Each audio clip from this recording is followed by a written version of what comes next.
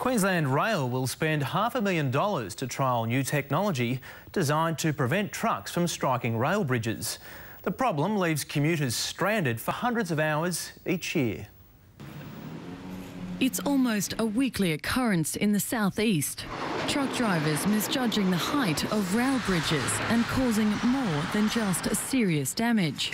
We've had some incidents over the past year where trucks have been running into our bridges, which causes major delays, not only on our rail network, but also for our traffic. Uh, over the last eight years, we've had over 334 bridge strikes in the southeast Queensland rail network. Last year, this incident at Rocklea left commuters stranded for hours. Now Queensland Rail is trialling new technology.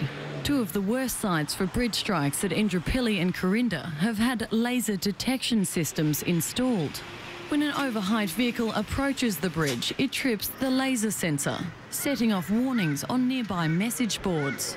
It sends out a signal to the truck driver to turn around if they are overheight. It also records the event on CCTV. If the trial proves successful, they'll be installed at other sites across the network. We have over 100 bridges like this, so we need to look at where our, our, our pressure points are. Before the technology was brought in, this bridge was being hit twice a month. Since then, 940 vehicles have been warned they're overheight and could hit the bridge, but none have done so.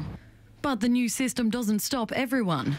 While we were filming, this truck ignored the warning signs, narrowly avoiding disaster. It was all caught on the system's CCTV. The trial will be reviewed in 12 months. Ursula Hager, 10 News.